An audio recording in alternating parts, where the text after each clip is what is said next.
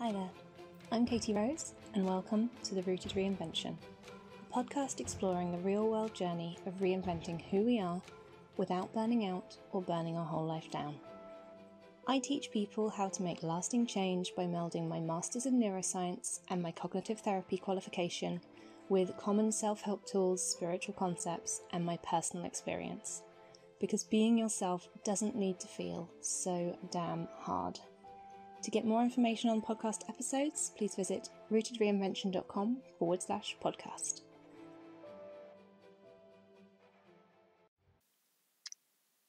As I've got older, I have begun to recognize just how many people are driven by a sense of achievement.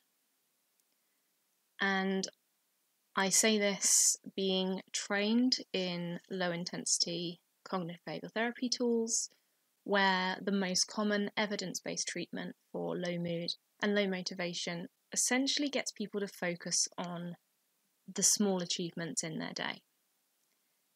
As a somewhat perfectionist who grew up in an environment where academic and kind of on paper achievements were highly valued, although I explored this kind of idea of focusing on achievements to give myself a sense of kind of rebuilding that confidence and kind of slowly building up my energy, which are things which are evidence based, and I'm not here to debate the science or, or what does and doesn't work for people.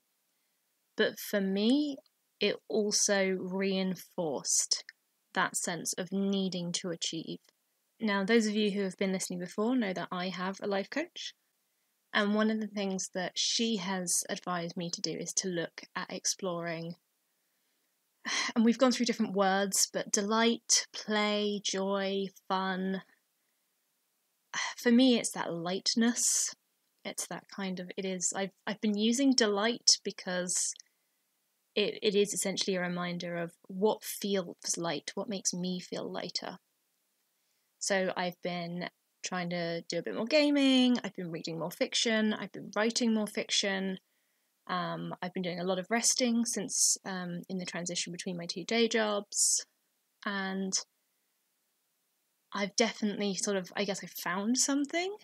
And although it's not academic and it's not very easy for me to put it into particularly clear words, it's something that I want to share because I know that I am not the only person on this earth who has struggled with something, tried the correct way of doing it, and I'm using air quotes for that. Um, you know, the evidence based, the proper, the recommended thing, and found that it doesn't work for them. And this is exactly why I started Rooted Reinvention to begin with, because actually, if we were just able to understand ourselves and to use the tools that our brain naturally does without all of the shoulds and musts and cultural advice, then we would, in my opinion, be better off in terms of finding what works for us and then doing that instead. Okay, rant over. Thank you for coming to my TED talk. Um, but essentially, one of the things that I've been doing is I actually signed up for a two week free trial of Skillshare. This is not sponsored. I do have a code down in the description or show notes if you want to try it for two weeks yourself for free. And I will get a little bit of, I think I'll get a credit or something for that. But for me, what was interesting about Skillshare is it's a learning platform. So it's got lots of online courses. A lot of them are under an hour, which I have to say I really love. So a lot of them are a set of 10 videos that are each five minutes long, which I've really found has meant that I've actually been able to stick with it and learn things. So I have to say that being a lifelong learner who's always trying to learn the next thing and always trying to make sure I'm not missing out on a piece of knowledge or a piece of information that could help me, knowing that actually Skillshare has things where I can watch a four minute video and then go back to something else and mull on it and then go back for the second set, which is another five minute video, that has really been helpful. But the main thing that I have learned from it is it is not a learning platform for anything and everything. So compared to a lot of other learning platforms where I've like looked through hundreds of courses and tried to work out which ones I want to pick, although I did look through some of the lifestyle, the productivity, the things that I always gravitate towards. It recommended a doodling class for me that was only 25 minutes for the whole thing. And I've now watched about four hours of how to doodle classes, which is not something I'd have ever picked, like a thought of. And it just feels like a bit of an easy way in. Art is not something that I associate with myself anymore. It was at least some part of my identity as I was growing up. It was something that I would always do. And these days I do creative writing instead. And I'm quite happy with that. But I have completed multiple hours worth of doodling lessons in the last two weeks. And although I wouldn't say that I've made any doodles that I'm particularly happy with yet, I did find delight. I found joy. I found giving myself 25 minutes, or I think I gave myself the first two videos, which was three minutes and one and a half minutes actually, but because they're split up. Giving myself that little bit of time to do something that will literally lead to nothing of any grand on paper achievement according to kind of what my parents would say or society would say.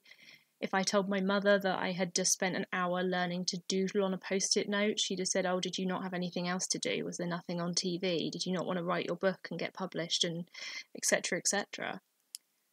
Um, did you not? and she certainly wouldn't like it if I said I was doing it because I was procrastinating doing the vacuum cleaning, which is also true. But I found that actually I could just learn something. And I wasn't trying to apply it to my business, and I wasn't trying to apply it to my writing, and I wasn't thinking about how am I going to take this into publication, and how am I going to get this out there, and how am I going to make sure that this meets this criteria so that I can publish it. It was just, I'm going to spend 25 minutes this week learning to doodle. It then recommended a basic drawing uh, video for me, which was a couple more hours, and it did take me a couple of weeks to actually get through the whole thing. I don't know if it's because I'm me and I do this whole lifelong learning and drawing connections together, but there are two things that I didn't know that I've learned from Skillshare, and it hasn't been because I've been trying to learn. And I think that's something, particularly when we are so achievement focused and so hard on ourselves almost about how we spend our time and what we're doing and what we're accomplishing with our life.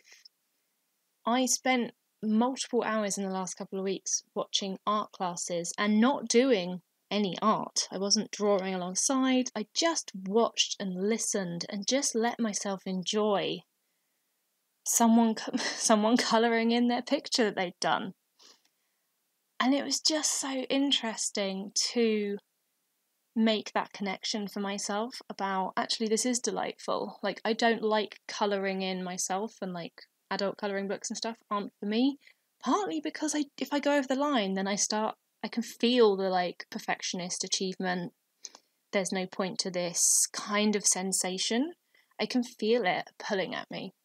Watching someone else colour in was surprisingly relaxing for me. And I'm kind of at the point where I don't have a great deal to say about this exploration of delight or joy or fun or whatever word you want to use, but that natural. I mean, it is that nature, it's that core nature underneath all of the expectations and the conditioning that we are given as human beings. It's the being that we are underneath. You know, if you watch a child crouch to look in a puddle. They don't need to learn how to crouch in such a way that keeps their back straight and bends at their knees. They they just do it. It's natural within us, and we lose the ability of how to to use our body and to to follow those instincts as we get older. And I think what I've really been exploring those last few months is kind of regaining that. So my word for 2021 is wild. And for me, it's about cultivating that natural spark inside me that's underneath the focus on achievement, even the focus on academia.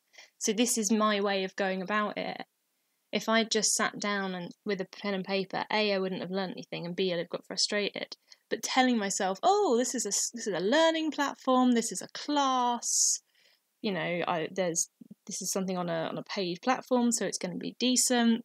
I'm going to definitely learn something from this. It'll be good for my well-being. It'll be good to help me as a rounded person. Perhaps one day I can get particularly good at drawing a particular thing and then I could put it up in a store or show people or put it on birthday cards or something. So I went into this already having a list of how I could make this achievement based. And then when I got there, very much was follow the the lightness, follow delight, look for it. And I was like, 20 minutes on doodling. That that seems pretty easy, pretty fun, pretty simple. I did used to like doodling when I was in school. Um, I definitely do a few doodles at the moment, or certainly before lockdown, I was doing lots of doodles when I was at meetings and things like that. It's my natural kind of response, although I do draw the same four things. So if you ever need me to draw a spider web, a 3D cube, a tree, or a butterfly, you'll notice that any doodle I've ever done in the last 10 years pretty much has those four things and nothing else. So the idea of learning a couple of new doodles I could do just felt it felt fun, but it felt like, oh, well, it'll put some variety in my life. It's a creative thing, and I want to be more creative this year. And there was just a pull. I saw the little thumbnail and it said doodling, it was under half an hour, and I thought, why not? And even thinking back to a year ago, I wouldn't have even asked myself why not because I'd have had a list of 20 reasons why not. So I think today I just wanted to kind of highlight that idea about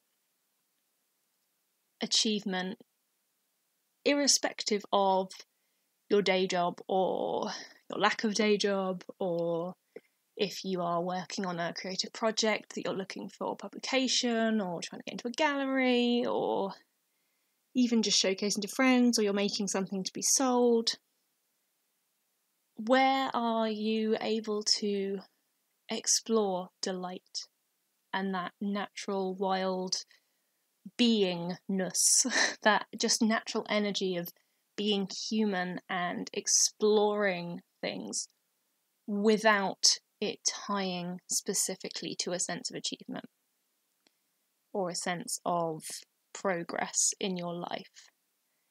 And again, if you need to do the same as me and kind of be like, oh, well, I'll go on this particular website that does courses, or I'll Google like courses of this in order to kind of feel like you're learning, feel like something might be useful, um, then, you know, start there 100%. But then when you get there, like listen for that little pull, feel for that little pull, that little tug of, hey, that looks that looks good. Especially if you can't immediately come up with a, well, how will this benefit me kind of answer. Because that's probably something, that's your spark. Sort of, those embers are flickering. And if there's anything I've learned in my years of trying to understand self development and well being and human potential and capability, it's follow that spark at least listen to it and see hear what it has to say. So I'll leave that link for Skillshare down below. As I say, it doesn't it won't cost you anything for two weeks. If you do sign up after that, it won't cost you any more going through my link than going through the main site. And I have a feeling I do gain something from it. So if you want to support me and apparently my doodling skills, then feel free to use my link if it sounds like the right thing for you. If you are similar if you are someone who is fairly achievement based, if you are somewhat perfectionist perhaps, then my challenge to you is to find three things that delight you every day for the next week. And I have to give credit to my life coach Tiffany Hahn because that's what she's asked me to do, and that's why I'm now asking you to do it. So I will put her details down below as well. Um, but it's literally finding three things that delight you. So, for example, something that delighted me yesterday was that I had cheese on toast for the first time in months. That was my lunch, and that was my delight. And that counts. I think that's the other thing. Um, I started reading a book two days ago and really enjoying it. That was a portion of delight. Um, My cats chased each other and one of them fell off the table. That was a moment of delight. He is fine. He is fluffy and bouncy and the table is not high. It's a coffee table. But that was one of my moments of delight was that I my husband and I both watched and we laughed and laughed and obviously checked he was all right and then laughed some more. Another moment of delight for me was that when I picked up fresh fruit and veg from the supermarkets, because we're in lockdown here in England, I picked up some nail varnish because I can't remember the last time I wasn't fighting for the dregs at the bottom of the nail varnish. And part of my kind of identity, my little battle armor costume when I'm having a bad day, is to put nail varnish on. That's one of the things that I know helps me feel like myself and connect to my my inner wild is to to wear nail varnish. Um, so there's a couple of examples. If you want to tell me what your uh, three daily delights are, please do. But what I would most like to know is just if you try this challenge for a week, how does it feel? Like, do you notice more delight? Do you notice how hard it is to find things? Do you notice that you really resented having to do it some days? Like, all of that is information that can help us find what works for us. Because in the end, that's the whole point, isn't it? Thank you so much for listening. Have a wonderful week. And I will speak to you again next Tuesday. Bye. Thanks for listening, and as always, you can find out more at rootedreinvention.com. Take care, remember, you are more capable than you often realise, and I'll see you next time. Bye.